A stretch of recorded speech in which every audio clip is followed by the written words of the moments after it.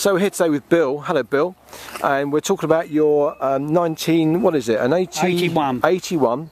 It's a Porsche 928S, and it's one of the rare manuals with a dogleg gearbox. And, and how long you had the car?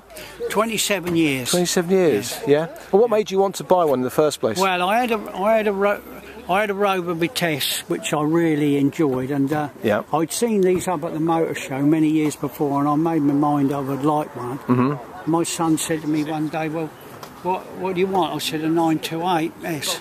So, and he, I said it's got to be a manual. and why was that? Why did you want a manual? because I've always had manuals. I, I did have a auto uh, on a, on another Rover, and I thought never again. Right. and um, I just I just love manuals because the fact is when you're getting a good lick on, you come up to to um, roundabouts and such like. You've got lovely change down. You use your manual as a brake. No, I mean it, oh, it's superb. Absolutely, I've had 27 years of fantastic. And how, how many miles have you done in her since you... Uh, uh, well, I bought it with 52,000 on the clock. Yep. and It's uh, 90, 98 now. So you, you've used it sparingly. You haven't used it as a daily driver, No, obviously, have you, over no, the years? just use. We, I've got a property in Somerset which I used to use it quite frequently down there and back. No, I haven't used it as a, for, for a commuter because I'm in building business. As you know, we have trucks and Yeah, you don't put and such like stuff in that, do you? Yeah, Yeah. it was really a. It was a car. Take us around um, the car. Let's let's have a look at her. Yes. And what colour is her? What is she, what is she? Well, there's supposed to be this um, something, the gold white or something. I think. What Right. was the colour it's supposed to be called? G? So White white, gold. gold looks more like a light brown to me, Bill. What do you think? I- that's what I've, I've never really loved the colour, but when they say it's a white gold, and I've had so many people come up today and say what a lovely colour, Yeah. and it's made me now appreciate it. Well, there's lots of red ones, white ones, silver, and uh, the dark blue. So this is quite Yes. huge, isn't it? Yeah. Yeah. And have you had a, lot of spend on her over the years? No, I, honestly, all I've done with it, I've put all I've done is put two new front springs on it. Really? Yeah, I- That's I- what you call cheap motoring, isn't it? It is. It absolutely. Do you remember what you bought her for? Those Uh. Sixteen thousand. Sixteen thousand. Yeah, when I was that was when I was fifty-two, and I'm now um, seventy-nine. So, in terms of value for, for money motoring, it's pretty good value, isn't it? Absolutely. And I've had a lot of classic cars and a lot of cars, and I, what the the. eh, The the build quality is fantastic as far as I'm concerned. It's Yeah. fantastic. I've had I had an Austin Healey 104 for 37 years, um, and in, no, the build quality of these 928 is is fantastic. And what's been your? Do you remember there's one run in particular you thought, wow, that was one that was a really exciting, hair-raising, or stimulating drive? Well, of course, being I had this property, I had bought an old cottage and we were doing it up. Margaret and I used to go down weekends and use this a lot of the time.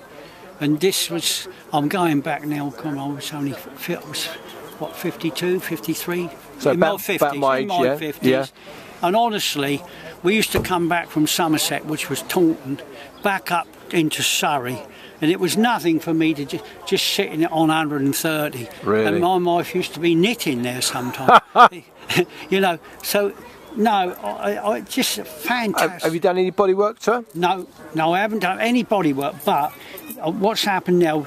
The bottom of both doors have got a bit. I've got that lined up to be done. But I, other than that, I haven't done any body work. Should we have a look inside? Because Yeah, it's quite a, quite a nice, unusual interior. Yeah, yes. it is unusual. I don't know whether it, as far as concerned, it would be a popular internal uh, uh, inside because it's this brown, and then you've got this beige sort of colour. I'm not sure it'd be everybody's choice. It's because, well, in other words, I was 52 and uh, I liked it because it was. Um, but I, I mean, I must admit, when you look at a lot of it here on today, when you see the lovely contrasts, Yeah. this is a bit um, mundane, isn't it? A bit funereal. Yes, quite. So what are you going to do? Are you going to keep it forever? Are you going to let, let Oh, the well, grandsons my, have her? My daughter already said she would like it. That's nice. Keep her in the family. And my son-in-law said, uh, grandson said this morning, Grandad, you're not selling it. I'll, I'll give you whatever. You, What a lovely idea to keep it in the family, don't Yes, you think? yes, I will. Yeah, but in the end, I won't take any money. I should just send it on to them. I think it's really important. Mm. Bill, thank you very much for sharing us with her. Lovely to talk to you. It's great to talk to people that have had the cars for so many years and got some really good stories. So thank you very much for your time. And I've been so delighted. Are you going to give a little start for us? Okay. If I stand around the back, you start. I'm giving a little bit of, give us Yeah, some sure. beans. Let's have a little listen, yeah. So that's Bill's 928S. Had it for 27 years. Cruised up and down. From, and here we go. Let's see if we can get it to start her up. Non-standing exhaust.